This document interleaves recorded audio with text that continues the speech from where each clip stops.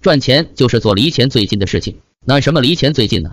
我认识一个做大健康的朋友，他有一个很有意思的生意理念，让我很受启发。他说，产品离赚钱十万八千里，真正离钱最近的是建立庞大的渠道。那么今天到底什么渠道才是最好的渠道呢？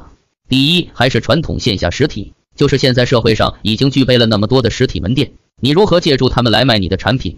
你要有一套方式和方法，能够帮助扶持那些有渠道的人，然后你把他的渠道为你所用，这个就是跨行业同客群。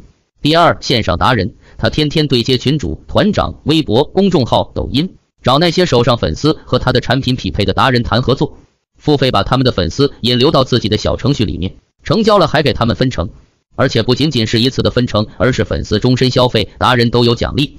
他自己从来不做自媒体信息流，他把自己定位为商人。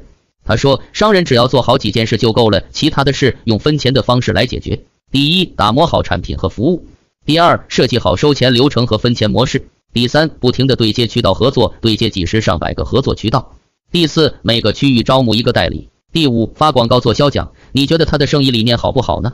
如果你认同他的理念，但是缺少工具怎么办呢？